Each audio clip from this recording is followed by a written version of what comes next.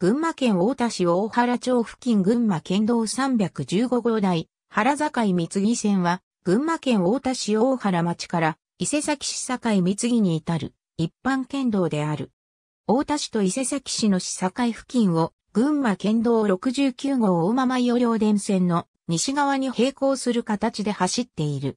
起点から北関東自動車道大田屋ぶ塚インターチェンジまでは片側2車線で再整備されている。また、同インターチェンジの料金所から本線交差点までのランプも本路線の視線扱いとなっている。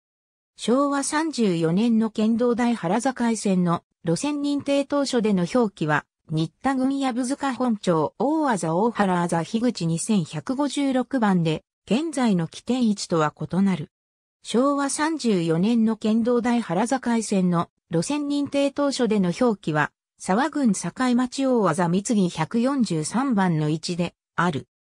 AB 昭和34年群馬県国時第326号県道の供用開始に関する国時昭和34年群馬県国時第324号県道路線認定に関する国時昭和34年群馬県国時第325号県道路線廃止に関する告示ありがとうございます。